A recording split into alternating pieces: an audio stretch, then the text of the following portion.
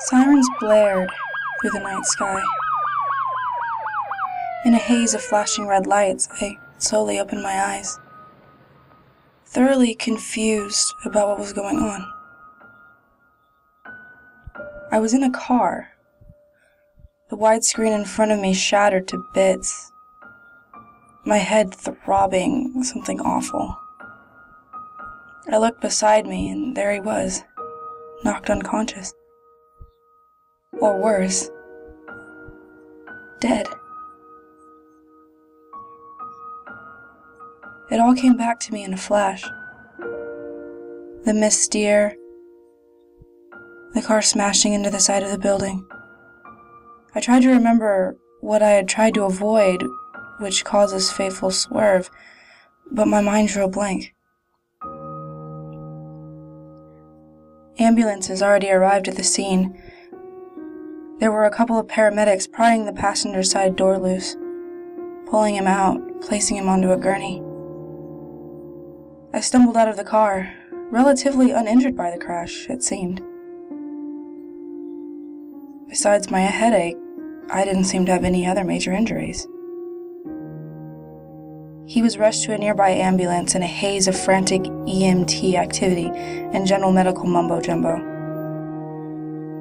I tried to overhear what his situation was, but couldn't make out any words clearly. I realized my ears were ringing, probably part of the headache. In a confused daze, I automatically climbed into the back of the ambulance with him fighting every throbbing cell in my brain. I attempted to shout a few encouraging words to his unconscious body. The paramedics probably just assumed we were together. Having been in the same vehicle and didn't seem to object to me tagging along.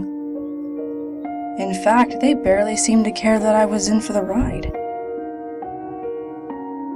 Reaching the hospital set off another set of frenzied actions.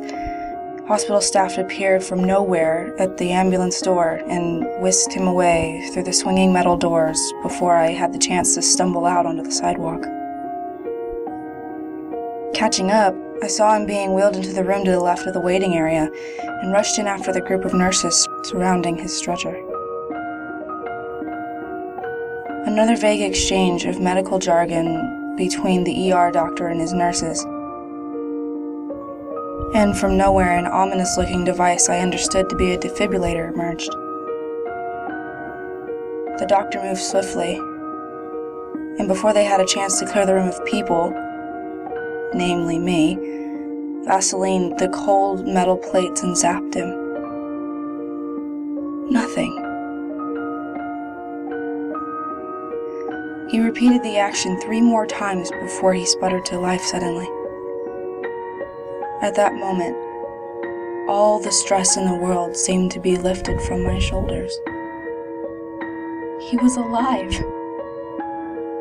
All this time, I was more or less sure he would have been, but there was always that little voice talking to me in the back of my mind saying, He's gone. He opened his eyes slowly, amidst hacking and coughing, and eventually met my relief drenched gaze. In that moment, my feeling of euphoria vanished. Something about the way he looked at me broke my heart. Why? I didn't know.